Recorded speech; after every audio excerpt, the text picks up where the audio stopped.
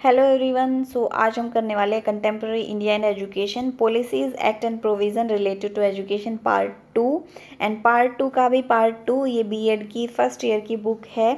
उससे हम ये टॉपिक कवर करने वाले हैं. पहले वाली वीडियो में मैं पॉलिसीज़ एक्ट एंड प्रोविज़न्स बहुत सारे करवा भी चुकी हूँ लाइक यू ई कर लिया था हमने देन सर्व शिक्षा अभियान भी किया था हमने and right to education act भी किया था हमने, और लैंग्वेज से रिलेटेड भी किया था इक्वलाइजिंग अपॉर्चुनिटी जो हमारे कॉन्स्टिट्यूशन में दी गई है वो भी किया था एजुकेशन फॉर माइनॉरिटीज़ भी हमने कर लिया था। मदर टंग का भी कर लिया था नेशनल लैंग्वेज को बचाने के लिए भी कर लिया था हमने। देन हम थे रिलीजियस एजुकेशन के ऊपर। सो so, इस पार्ट में हम कवर करेंगे रिलीजियस एजुकेशन और फर्दर जो जो भी आर्टिकल्स दिए गए हैं हमारे कॉन्स्टिट्यूशन में वो। अगर आपको ये टॉपिक कवर करना है तो हम हाफ़ टॉपिक पहले कर चुके हैं आप उससे पहले की वीडियो देख सकते हैं। चलिए शुरू करते हैं बिना कोई टाइम वेस्ट किए हुए। तो रिलीजियस एजुकेशन के लिए भी प्रोविज़न दिए गए हमारे कॉन्स्टिट्यूशन में। आर्टिकल ट्वेंटी फाइव कहता है राइट टू प्रोपगेट रिलीजन मतलब हर एक इंसान को, हर एक सिटीज़न को ये फ्रीडम है कि वो किसी भी रिलीजन को प्रैक्टिस कर सकता है प्रोपेगेट कर सकता है। फिर आता है article twenty eight freedom as to attendance at religious instruction कि एक तरीके से वो वर्शिप कर सकता है अपने रिलीजन की, या जो रिलीजियस इंस्टीट्यूशंस है वो एक तरीके से बना सकता है, उनको फ्रीडम है इस चीज़ की। Article twenty one twenty eight one कहता है ट्वेंटी एट वन कहता है कि no religious instruction shall be provided in any educational institution wholly maintained out of the state fund लेकिन ऐसा नहीं है कि आप कहीं भी रिलीजन को घुसा दोगे, कहीं पे भी बैठ के कोई भी पूजा पाठ करने लग जाओगे, कहीं पे भी नमाज़ पढ़ने लग जाओगे, चाहे सड़क हो, चाहे कुछ भी हो, या कोई भी लाइक गवर्नमेंट इंस्टीट्यूट हो, कोई एजुकेशनल इंस्टीट्यूशन है सभी के लिए, उसमें ऐसा नहीं चलेगा। तो ये भी प्रोविज़न है कि जो स्टेट के द्वारा फंड किया जा रहा है एजुकेशनल इंस्टीट्यूशन उसमें कोई भी आपकी प्रैक्टिस ऐसी नहीं चलेगी। कोई भी इंस्ट्रक्शंस नहीं चलेंगे, कोई पढ़ाई नहीं चलेगी रिलीजन से related article twenty eight two कहता है कि nothing in clause one shall apply in educational institution which administered by the state but has been established under any endower or trust which require that religious instruction shall be imparted in such an institution इसमें कि अगर like ये जो article twenty eight one जो हमने पढ़ा है, कि लाइक जो स्टेट फंड के द्वारा जो हमारे एजुकेशनल इंस्टीट्यूशन चल रहे हैं, उनमें कोई रिलीजियस प्रैक्टिस या रिलीजियस इंस्ट्रक्शन नहीं चलेंगे, ये तब लागू नहीं होगा अगर कोई इंस्टीट्यूशन है वो किसी ट्रस्ट या किसी फंड के थ्रू चल रहा है तो वो चीज़ें नहीं होगी। अगर कोई ट्रस्ट किसी इंस्टीट्यूशन को चला रहा है तो वहाँ पर रिलीजियस प्रैक्टिस हो सकती है। जैसे आप एग्जांपल देखते हो, मदरसाज वगैरह में आपको इस्लामिक एजुकेशन मिलेगी। हमारे गुरुकुल वगैरह जो होते हैं, उसमें आपको वेदांत से रिलेटेड या हमारे सनातन धर्म से रिलेटेड जो है, वो भी पढ़ाया जाता है। आर्टिकल ट्वेंटी एट थ्री कहता है, इसमें भी no person attending any education institution recognise by state receiving aid out of state fund shall be to take part in any religious inst, instruction that may be imparted in such institutions. Even attend any religion worship इसमें मतलब वही है कि जो government जिसको चला रही है स्टेट फंड के द्वारा अगर कोई इंस्टीट्यूशन चल रहा है तो उसमें कोई भी रिलीजियस इंस्ट्रक्शन या रिलीजियस वर्शिप नहीं होगी। चाहे वो कि पर्सन जो है वो अलग अलग उससे आए, चाहे किसी से भी आए, चाहे माइनॉरिटीज़ हो, कुछ भी हो, लेकिन वहाँ पे रिलीजियस नाम की चीज़ नहीं चलेगी इसमें मेन ये दिया हुआ है। अब बात कर लेते हैं हायर एजुकेशन की। सो हायर एजुकेशन काफ़ी इम्पोर्टेंट है और ये एक तरीके से जो हायर एजुकेशन है, वो नेशनल लेवल का मुद्दा बन जाता है क्योंकि इसकी इम्पोर्टेंस नेशनल लेवल पर रहती है। तो इसके लिए भी बहुत सारे जो एक्ट हैं प्रोविजंस हैं, वो दिए गए हैं।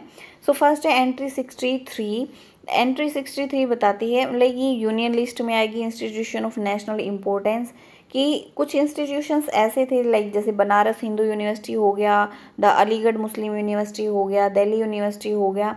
तो इनको एक तरीके से जो पार्लियामेंट था हमारा, उसने नेशनल इम्पोर्टेंस दी है एक तरीके से। इनको बहुत सेंट्रल यूनिवर्सिटी बनाया उन्होंने, क्योंकि नेशनल लेवल पे ये काफ़ी इम्पोर्टेंस रखती है।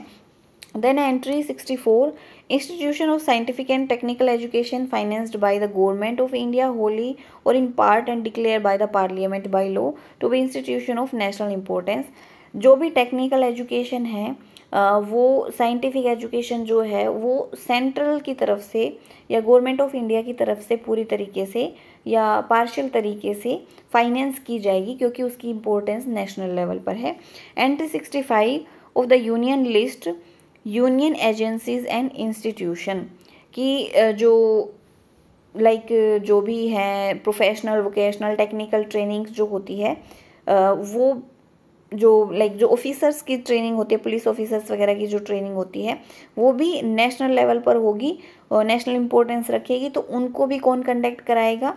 यूनियन कंडक्ट कराएगी या गवर्नमेंट ऑफ़ इंडिया कंडक्ट कराएगी। प्रोमोटिंग ऑफ़ स्पेशल स्टडीज़ और रिसर्च लाइक रिसर्च के लिए भी जो फंडिंग होगी या रिसर्च को जो कंट्रोल करेगा जो जिसके अंडर आएगा वो गवर्नमेंट ऑफ़ इंडिया होगा या यूनियन लिस्ट में आएगी। साइंटिफिक और टेक्निकल असिस्टेंट इन इन्वेस्टिगेशन और detect detection of crime like जो साइंटिफिक इन्वेस्टिगेशन जो कुछ भी होगी या टेक्निकल असिस्टेंस जो होगा क्राइम के टाइम पे वो भी यूनियन uh, लिस्ट में आएगा। Entry sixty six of list one list one का मतलब यही है यूनियन लिस्ट। लिस्ट सेकंड में हमने स्टेट लिस्ट पढ़ा था एंड लिस्ट थर्ड में हमने कंकरेंट लिस्ट पढ़ा था। तो एंट्री सिक्सटी सिक्स में है coordination and determination of standards इसमें स्टैंडर्ड्स किस चीज़ का? इंस्टीट्यूशन फॉर हायर एजुकेशन और रिसर्च और साइंटिफिक एंड टेक्निकल इंस्टीट्यूशंस का। उनको कोऑर्डिनेशन चाहिए मतलब स्टेट एंड जो यूनियन है, दोनों मिलके काम करेंगे उस पर this entry is vital importance as a sole responsibility rest on union government to ensure that higher education of research and scientific and technical education are not in hand of any state but in national interest तो यहाँ पे भी यही बताया है कि ये जो सारी चीज़ें हैं लाइक रिसर्च हो गया टेक्निकल एजुकेशन हो गई, या साइंटिफिक एजुकेशन हो गई, वो सारी एक नेशनल लेवल का मुद्दा है नेशनल इंटरेस्ट है। तो डायरेक्ट इसको यूनियन जो है या गवर्नमेंट ऑफ़ इंडिया है, वो हैंडल करेगी इसको। ना कि किसी स्टेट के अंदर कंट्रोल किया जाएगा। देन आता है educational and cultural relation with foreign countries इसको भी कौन कंट्रोल करेगा, हमारी यूनियन कंट्रोल करेगी, क्योंकि फ़ॉरन के साथ लिंक है वो हमारी गवर्नमेंट ऑफ़ इंडिया का होगा, ना कि पर्टिकुलर एक स्टेट का होगा। तो इसमें भी वही है कि लाइक यूएन हो गया यूएन यू यूनेस्को हो गया, उनसे कौन डील करेगा? गवर्नमेंट ऑफ़ इंडिया डील करेगी। Entry thirteen of list one में भी बताया है कि which leads which read as participation in international conference association and other bodies implementing decision that threats मतलब वही है कि इनके साथ कौन डील करेगा? यूनियन डील करेगी, ना कि हर एक स्टेट अलग अलग डील करेगा education in union territories article 239 के अंदर आता है कि save as otherwise provided by parliament by law every union territory shall be administered by president act एक तरीके से कि जो भी हमारी यूनियन टेरिटरीज़ है, उनको सेंटर का दर्जा दिया गया है। तो वो डायरेक्ट किस, कौन जो है प्रेसिडेंट जो है, उनके ऊपर एक्ट करेगा डायरेक्ट उनकी जो एजुकेशन होगी, उनके जो राइट्स होंगे, उनके लिए जो भी प्रोविज़न्स किए जाएँगे, वो डायरेक्ट प्रेसिडेंट के थ्रू किए जाएँगे। डायरेक्ट कंट्रोल जो होगा, वो गवर्नमेंट ऑफ़ इंडिया का होगा, उनके ऊपर। ठीक है, वो एक अलग अलग स्टेट का नहीं रहेगा। वो एक के अंडर ही आएँगे, जो कि हमारा प्रेसिडेंट होता है। देन आता है economic and social planning the entry twenty of list third list third मतलब कॉन्क्रेंट लिस्ट आ जाती है, इसमें जिसमें स्टेट और सेंटर दोनों मिलकर काम करते हैं। तो इसमें बताया गया है इकोनॉमिक एंड सोशल प्लानिंग होगी इसमें कि गवर्नमेंट गवर्नमेंट ऑफ़ इंडिया मतलब जो सेंट्रल है वो और स्टेट गवर्नमेंट जो है वो दोनों के दोनों मिल के काम करेंगे। Implementing national plan for education अगर एजुकेशन का कोई ऐसा प्लान आ रहा है नेशनल लेवल पर तो स्टेट और सेंटर दोनों मिलके काम करेंगे कि वो अप्लाई हो पूरे स्टेट में और पूरी कंट्री में।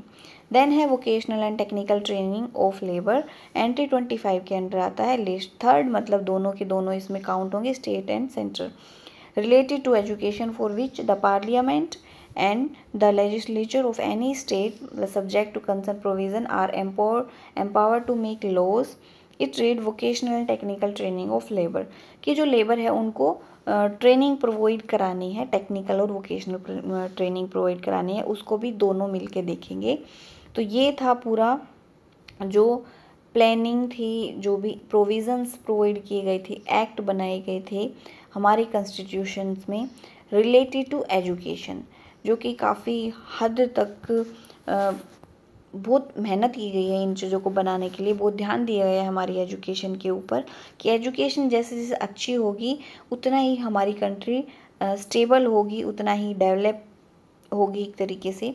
तो एजुकेशन बहुत अहम रोल रखती है डेवलपमेंट में और हमारे कंस्टिट्यूशन में इसको लेके बहुत ही डीपली सोचा गया है। तो ये मेरे ख्याल से इनफ रहेगा। आपके बीएड एग्ज़ाम के लिए या जो भी कॉम्पिटिटिव एग्ज़ाम्स आते हैं उनके लिए। तो इस यूनिट को आगे बढ़ाते हम और भी आगे वीडियोस आप देख सकते हो।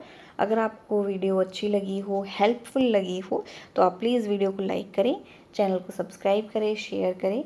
Thanks for watching this video मिलते हैं नेक्स्ट वीडियो में।